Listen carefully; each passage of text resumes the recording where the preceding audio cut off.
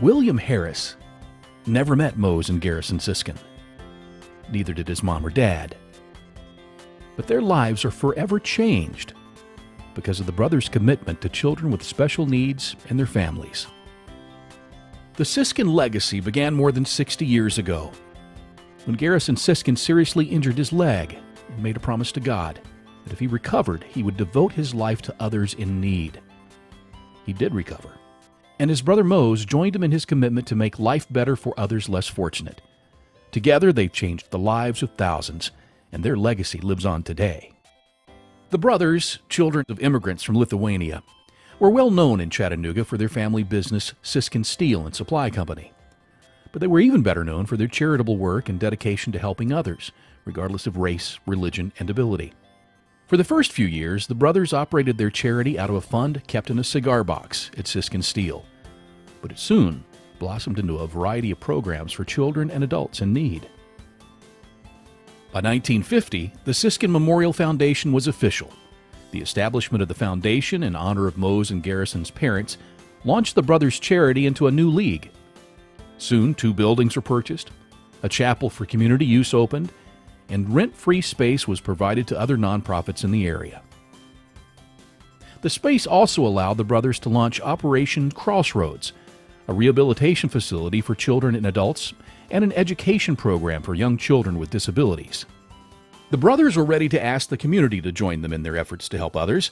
They established the 365 Club, asking people to donate a penny a day or more to the cause. The community responded and provided generous support to the 365 Club, and many celebrities helped champion the Siskin cause. In the late 70s, both Siskin brothers passed away, but they continued to have an impact on the community. In 1990, Operation Crossroads became Siskin Hospital for Physical Rehabilitation, a comprehensive rehabilitation facility helping children and adults. In 2000, the education program for children with special needs was named Siskin Children's Institute and moved from inside the hospital to its own location on Carter Street in downtown Chattanooga. From its simple roots as a small preschool, Siskin Children's Institute has expanded to include education, outreach, healthcare, and research for children and their families. Today at the Institute, children with and without special needs learn and play side by side. Parents are offered resources and support to face life's challenges. Professionals benefit from research identifying best practices in early childhood development. And families get the medical answers they need. But most importantly, it's a place where families like the Harrises find answers, support, and hope. The one thing that I never got to do until he started Siskin was get to truly enjoy being his mom.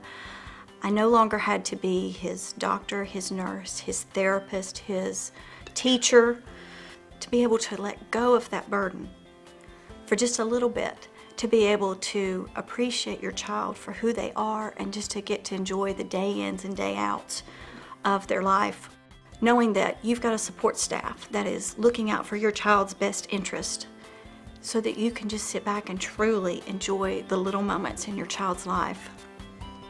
That has been the biggest blessing to us. Although the Siskin brothers aren't here to see the changes in William's life, his mother hasn't forgotten the two men who had the vision to make life better for children they would never know. When I get to heaven, one of the first things I want to do is find the Siskin brothers. I want to run up and hug their necks and say, You have no idea what you've done. You have blessed generations and generations, and you have made my family's life so much better for what you've done. Thank you. Thank you. And I will never let him forget his time here at Siskin. I'm going to tell him that there was a special place where he went when he was very little.